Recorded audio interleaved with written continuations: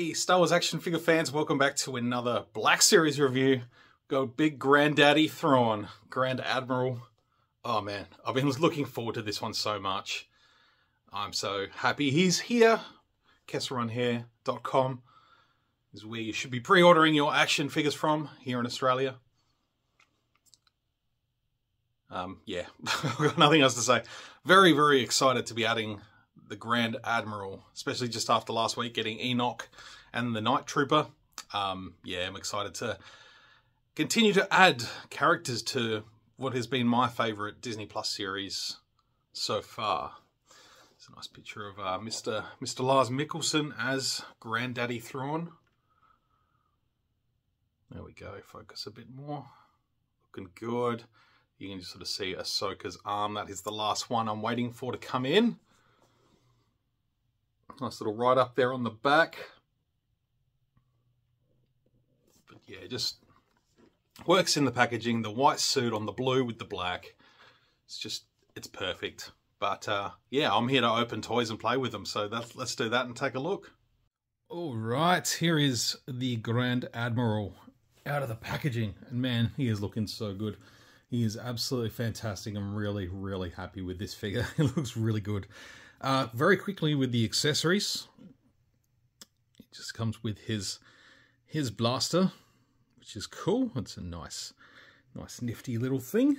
Doesn't need much more than that. He's uh, he has armies at his disposal, so yeah, simple blaster for for defense is cool. And that fits nicely in his holster there.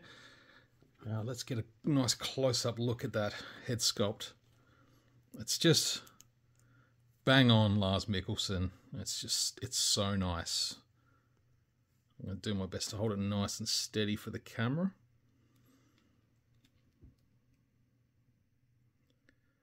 Yeah, it's looking pretty good. Paint app's nice and clean. You're always going to get tiny, minor little bleeds and stuff, like a little bit of hair just over the ear, but a little bit of the blue, the blue neck onto the uh, onto the collar there, but that's, yeah, it's not a big deal.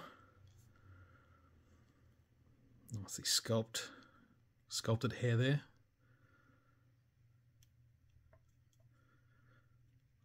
Uh, yeah, casting casting Lars Mikkelsen in the role was just, it was a no-brainer. Absolute no-brainer.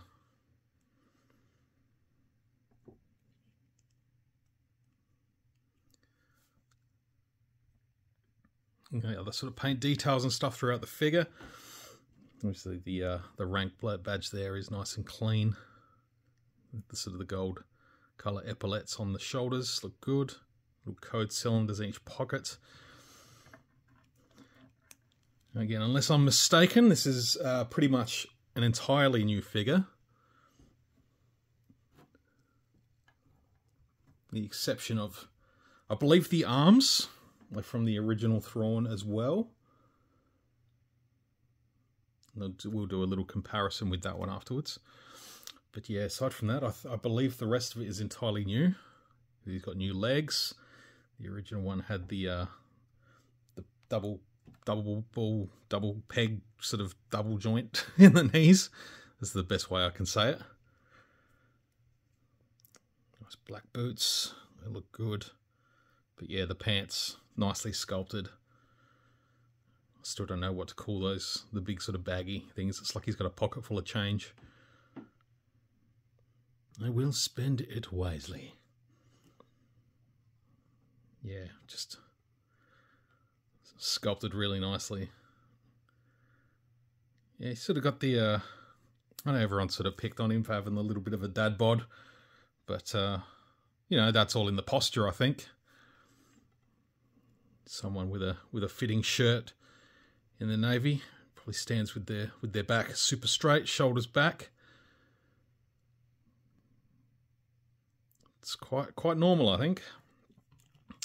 You know, the internet can be quite pathetic at sometimes, and you know they did it with Boba Fett when he made his appearance in The Mandalorian. And they did it with Thrawn. I think it's I think it's just silly, just silly people. It's not necessary. As a dad-bodied human myself. I'm just not a dad. Um, yeah, otherwise, the figure's really nicely painted with the hands. You know, I like the sort of nice relaxed hand on that side and the trigger finger on that side.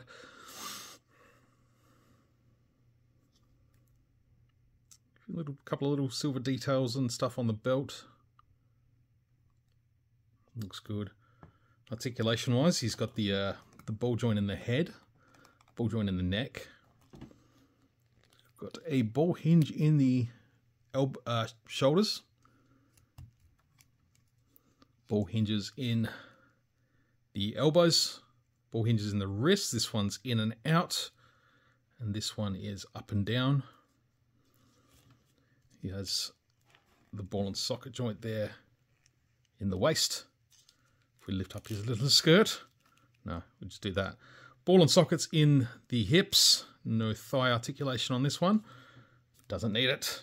He's just going to stand there. Ball hinges in the knees, ball hinges in the ankles, and then that swivel in the foot for the rocker joints. So he is exception, exceptionally articulated for a man that is just going to stand around most of the time. But, uh, yeah, there's a lot of a lot of people that waited a very very long time to see Grand Admiral Thrawn come to life. To get him in Rebels was uh, was one thing, but to have that story continue post Return of the Jedi and what is sort of unfolding throughout the Ahsoka series now, so good. Just going to do a peg test on the feet. 2024. Beautiful. This is the uh, KR stand from KesselRunHair.com. We make them ourselves.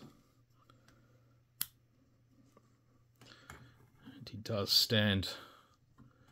Formidable ch looking chap. That perfect posture.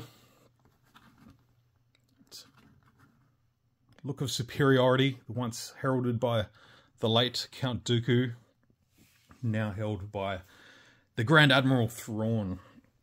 Let's do a little side by side with his uh, Rebels counterpart. This is the archive version that had the update. And I took the Ysalamiri that came with Luke. Arguably, that was just a pack in from Hasbro to give to Thrawn. But yeah, this guy sort of stands among my heir to the Empire sort of set of figures. But yeah, nice interpretations of the character. I still think this figure rocks big time. Really, really like Thrawn from, yeah, you could say he's from the books. He doesn't have the uh, correct epaulets that he would have in the Legends, but who cares? Once the Ysalamiri sitting on his shoulder, who cares? Still a great Thrawn. But yeah, just looking at the arms, I think, yeah, the arms are the same sculpt. But everything else is, is brand spanking new, as far as I can tell. Looks really good. Really, really good. Love to hear your thoughts, folks. Drop a comment down below. Tell me how thrawny you are. um, no, give the video a thumbs up if you've enjoyed the review. Drop a comment. Let me know what you think. Give the video a thumbs up. Subscribe. Subscribe. Yeah, do all the things I've told you to do three times. Um, or don't. I'm not the boss of you. Thank you for watching. I do appreciate your time, however. See you again very soon for some more Star Wars action figure reviews and goodness. And uh, yeah, stay tuned to Sith Lord 229's channel this weekend. Uh, we'll be doing a bit of a Gaming Greats live stream with, with Sith Lord himself, Daniel East 1000, and RoboQuiff collects. So I'm looking forward to doing that. So I hope you can join me, join join in for that stream. Again, jump over to Sith Lord 229. Uh, you'll know who he is. You'll know who he is. You don't need directions. All right, folks. We'll see you again very soon. Till then, may the force be with you always. We would be honored if you would join us.